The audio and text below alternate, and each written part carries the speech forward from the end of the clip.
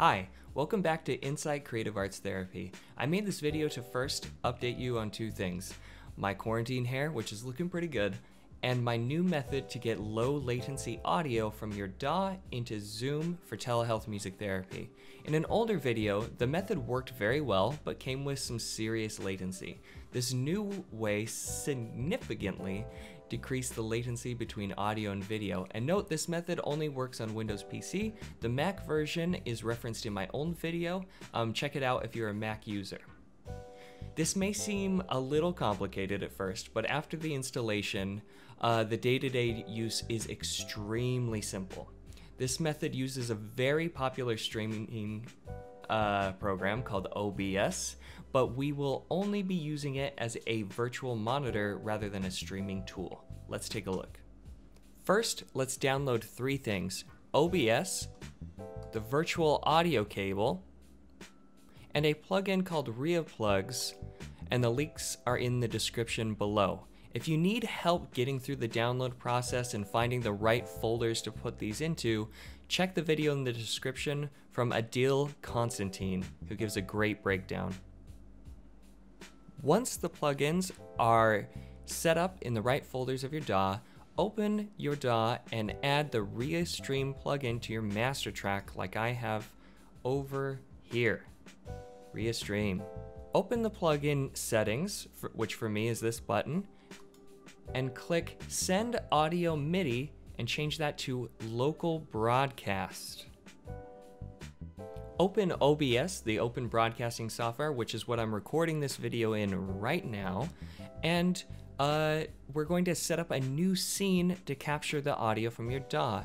In the sources column over here, click the plus, uh, and choose uh, and make a new scene, uh, whatever you name it. I chose sessions for mine, um, but I'm not going to change it because I'm currently recording. And then in the, the sources right here, click the plus and select audio input capture. And in that, you will create a, a new name for one. I called mine DAW, D-A-W. Uh, you might hear my voice double as I do this. Right click on the DAW audio source and click filters. Click the plus here to add a plugin and go down to VST2 plugin, which I've set up here.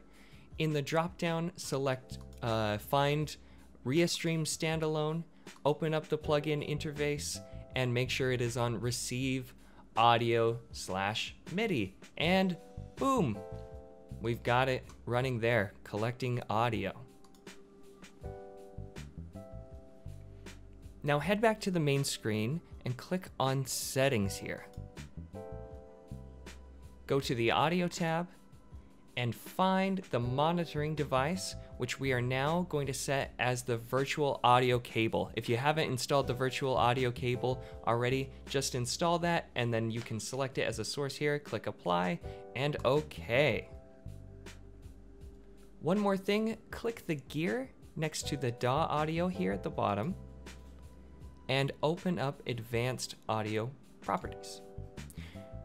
Now for the DAW source that you have named, go over and change the audio monitoring to monitor and output.